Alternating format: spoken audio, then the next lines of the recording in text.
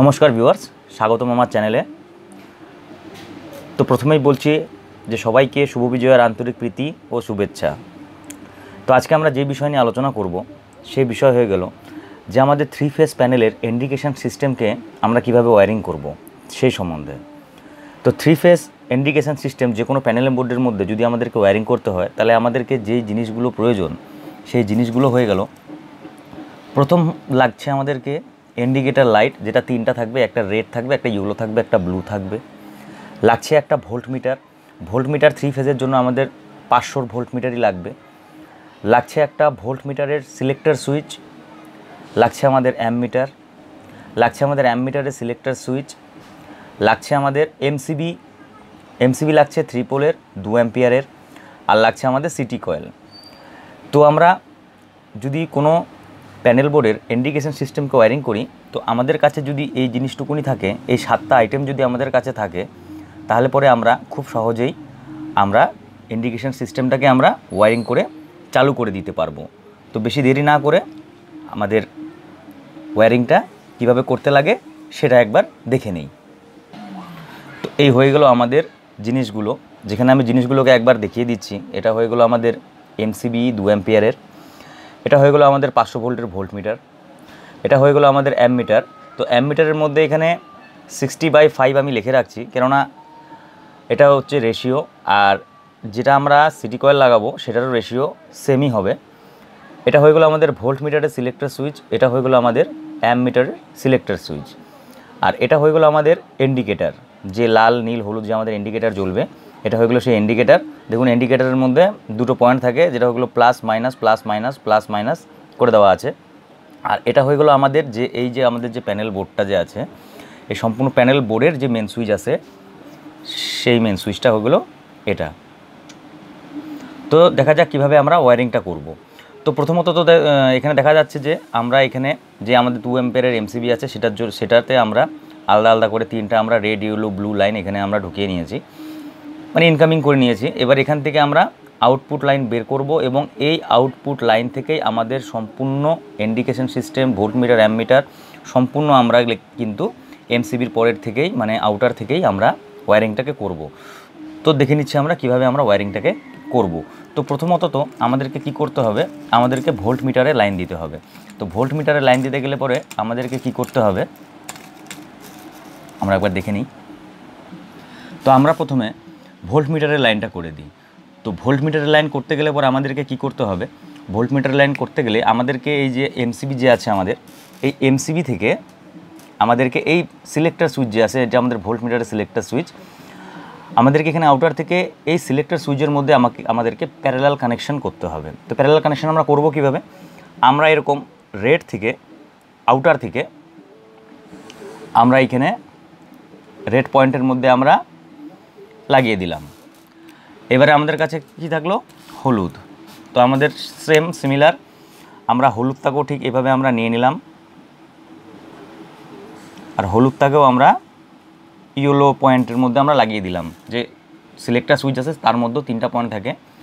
Red yellow blue এবং যে আমাদের কাছে যে ব্লু আছে, আমরা ব্লুটাকেও সিমিলার একদম সেম এইভাবেই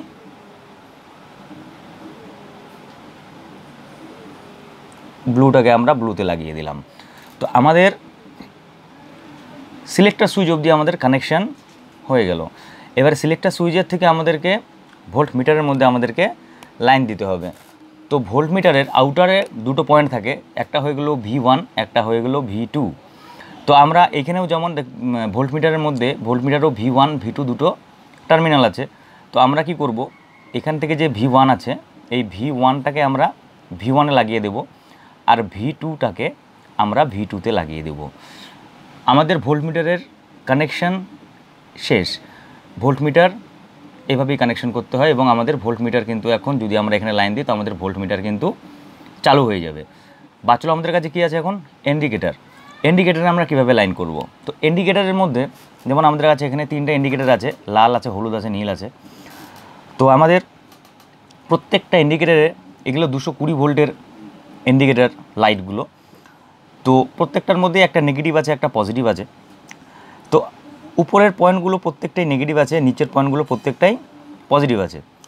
তো আমরা নেগেটিভ যে লাইনগুলো আছে, এই নেগেটিভ লাইনগুলোকে সবগুলোকে আমরা একসাথে করে, সবগুলোকে আমরা একসাথে করে দিলাম। একসাথে শর্ট করে দিয়ে আমাদের যে মেন যে বাসবারের মধ্যে যে নিউট্রালটা আছে, সেই নিউট্রালের মধ্যে আমরা লাগিয়ে দিলাম। তো আমাদের এখানকার, এখানে প্রত্যেকটা লাইটের মধ্যে প্যারালাল নিউট্রাল কানেকশন হয়ে গেল। এবারে আমাদেরকে এখানে কি দিতে হবে? আমাদেরকে এখানে ফেস দিতে হবে। ফেস দিলে পরে আমাদের লাইটগুলো জ্বলবে। তো আমরা ফেস কোথার থেকে দিব? আমরা এই এমসিবির আউটার থেকেই আমরা এখানে ফেসগুলো দিব।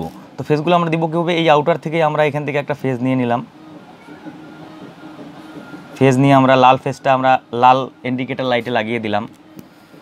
হলুদ যেটা আছে, আমরা হলুদটাকে আমরা নিলাম, হলুদটাকেও নিয়ে আমরা সেক সিমিলার এভাবে হলুদটাকে নিয়ে আমরা হলুদে লাগিয়ে দিলাম।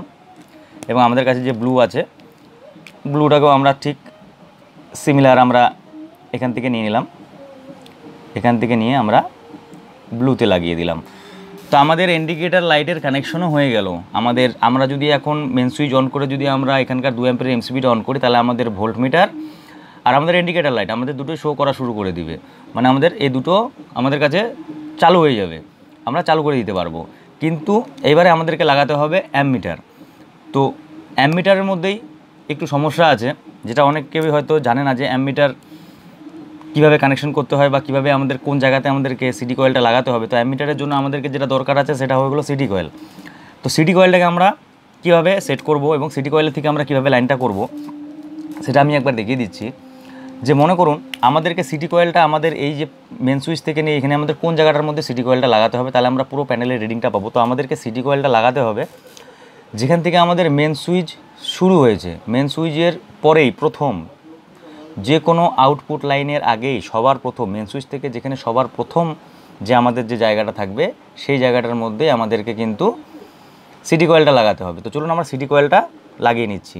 তখন এটার মধ্যে ব্লুয়ের মধ্যে আমরা সিটি কয়েল লাগিয়ে দিলাম। ব্লু এ সিটি কয়েল আমরা লাগিয়ে দিলাম। ইয়েলোতে আমরা সিটি কয়েল লাগিয়ে দিলাম।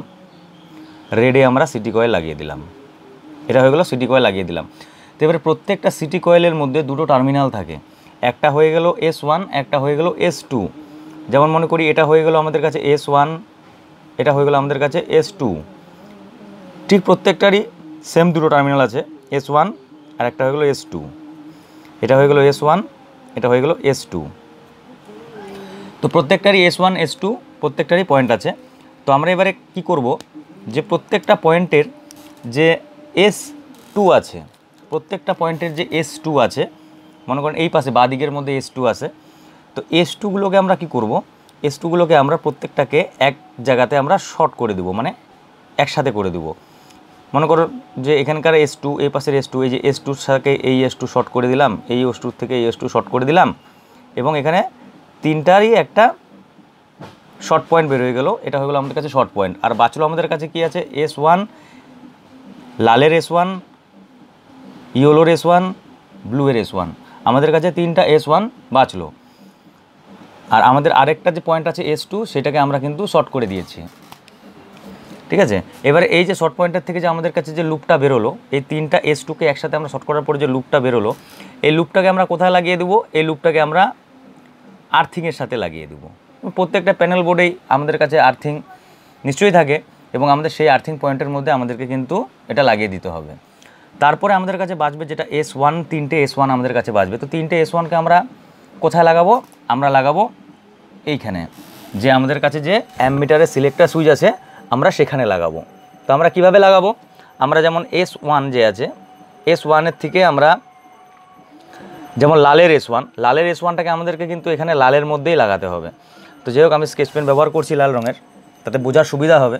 বোঝার সুবিধার জন্য আমি লালটা নিয়ে নিলাম। তো এটা মনে করি আমাদের কাছে লালের এস ওয়ান আছে। এবারে আমরা লালের এস ওয়ানটাকে আমরা এখান থেকে নিয়ে আমরা এখানে লালের মধ্যে লাগিয়ে দিলাম। অ্যামমিটারের সিলেক্টার সুইচের লালের মধ্যে যে সিটি কয়েল লাগানো আছে, তার এস ওয়ানটাকে নিয়ে আমরা অ্যামমিটারের সিলেক্টার সুইচে রেডের মধ্যে লাগিয়ে দিলাম। এবার এইভাবেই সিমিলার আমাদেরকে তিনটাকেই লাগিয়ে দিতে হবে। তো আমরা এবারে হলুদটাকে নিয়ে নিই। হলুদটাকে এখানে একটু জাম করে নিলাম। এটা এগুলো হয়ে গেলো সব সিটি কয়েলের লাইন এর হলুদটাকে আমরা হলুদে লাগিয়ে দিলাম। এবার আমাদের কাছে থাকল কি? ব্লু আমরা সিক্স ঠিক একদম সিমিলার আমরা ব্লুটাকেও নিয়ে নেব। এটা হয়ে গেলো আমাদের কাছে ব্লু ব্লুটাকে আমরা এইভাবে জাম করে আমরা নিয়ে নিচ্ছি।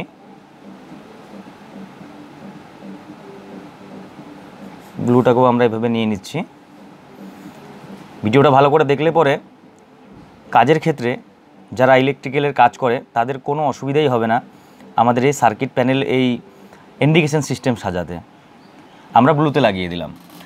এবারে আমাদের যে অ্যামিটারের সিলেক্টার সুইচ আছে, তার তারও থেকে দুটো আউটার বের হয়েছে এ ওয়ান এ টু এখানেও যেমন আছে A one A one A two আছে আমাদের। তো আমরা ঠিক সিমিলার আমরা কি করব? আমরা এ ওয়ানেরটা আমরা এ ওয়ানে লাগিয়ে দেব। এ টুটা আমরা এ ওয়ানে লাগিয়ে দেব। তাহলে আমাদের অ্যামিটারেরও কানেকশন হয়ে গেল। তো এবারে আমি বলছি, যেটা হলো মূল পয়েন্টের বিষয়, যেটা হয়ে গেলো যে আমি এখানে সিক্সটি বাই ফাইভ আমরা এই রেশিওর আমরা অ্যামমিটার যেহেতু ব্যবহার করেছি, তো আমাদের এখানে যে সিটি কয়েল আছে, আমাদের এই যে সিটি কয়েল যে আছে, এই সিটি কয়েলেরও রেশিও কিন্তু সিক্সটি বাই ফাইভই হবে। এখানে কিন্তু আমরা অন্য ব্যবহার করতে পারব না, যেমন দশ বাই পাঁচ বা একশো বাই পাঁচ আমরা ব্যবহার করতে পারব না। আমরা এখানে যতর সিটি কয়েল ব্যবহার করব, আমাদেরকে কিন্তু অ্যামমিটারও ঠিক ততরই আনতে হবে। যেমন এখানে যদি সিক্সটি বাই ফাইভের যদি আমরা এনে থাকি, তো আমাদেরকে এখানেও সিক্সটি ফাইভ ফাইভেরই মিটার আমাদেরকে লাগবে। তো আমাদের অ্যামিটারেরও কানেকশন হয়ে গেল। আর আরেকটা যেটা বিষয়, বোঝার বিষয় আছে যে আমাদের সিটি কয়েলকে আমরা একদম তো দেখুন প্রথমে লাগিয়েছি এবং সিটি কয়েল লাগানোর আরেক মানে আরেকটা নিয়ম যেটা আছে যে সিটি কয়েলের দুটো সাইড থাকে। মনে করি এটা গেলো আমাদের কাছে একটা সিটি কয়েল ঠিক আছে? মনে করি আমরা এখানে একটা আমাদের কাছে সিটি কয়েল আছে। তো সিটি কয়েলের দুটো দিক থাকে। যেমন দুটো টার্মিনাল আছে, ধরে নিলাম এস ওয়ান এস টু দুটো টার্মিনাল আছে। এস ওয়ান এস টু আমাদের কানেকশনের জন্য দুটো টার্মিনাল আছে, কিন্তু দুটো সাইডও আছে। একটা হয়ে গেলো আমাদের কাছে পি ওয়ান সাইড আছে, একটা হয়ে গেলো আমাদের কাছে পি টু সাইড আছে। দুটো সাইড আছে কিন্তু। তো দুটো সাইডের মধ্যে আমাদেরকে সবসময় প্রাইমারির দিকে, অর্থাৎ আমরা যেদিক থেকে আমরা আমাদের যে লোডটা আমাদের মেন সুইচের পরে তো আমরা যখন বাসবারে আমরা লোড দিব, তো তখন তো আমাদের বাসবার থেকে তো লোড যাবে।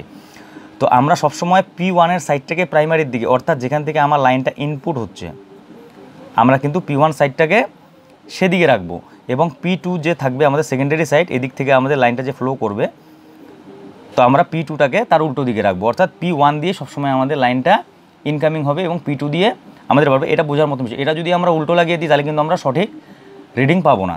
তো আমরা যদি এভাবে করে যদি আমরা কানেকশানটাকে করি, তাহলে আমাদের প্যানেল বোর্ড খুব সহজেই আমাদের যে ইন্ডিকেশন সিস্টেম আছে, সেটাকে আমরা খুব সুন্দরভাবেই আমরা শিখে নিতে পারব। তো আজকের ভিডিও এতটুকুনি আছে। যদি ভালো লাগে তো নিশ্চয়ই আমার ভিডিওটিকে লাইক করবেন ও আমার চ্যানেলটিকে সাবস্ক্রাইব করবেন। ধন্যবাদ।